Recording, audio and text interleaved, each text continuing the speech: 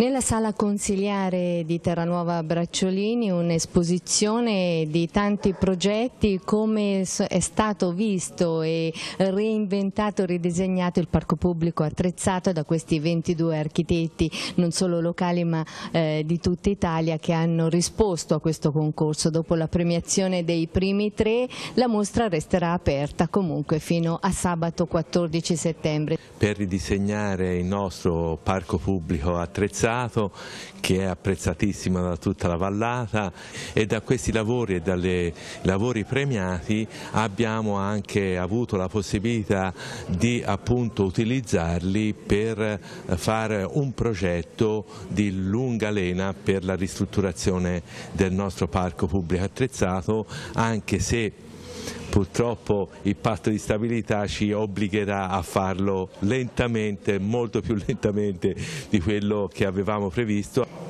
E siamo alla fase della premiazione di questo concorso di idee, 22 progetti che sono arrivati da tanti studi di architettura del nostro territorio e oltre. Bellissimi, sono bellissimi proprio da vedere anche per coloro che sono un po' profani come me nel vedere disegni, ecco questi con i rendering ci danno bene l'idea di come potrà avvenire il parco pubblico. Come avete scelto il primo, il secondo, il terzo? Il criterio era appunto quello che rispondesse alle esigenze di questo parco che come eh, si sa insomma, ha un sacco di funzioni e eh, i progetti che avevano risposto in maniera più esaustiva alle esigenze, alla, al progetto insomma, di questo spazio abbiamo appunto eh, dato più punteggi e è venuto fuori i vincitori e tre menzionati che si sono distinti oltre che per la soluzione progettuale anche per l'originalità, per altri particolari. Ed ecco gli architetti vincitori di questo concorso di idee, eh, Agnoletti, eh, Vecci e Tellini. Abbiamo organizzato sentendoci eh, via Skype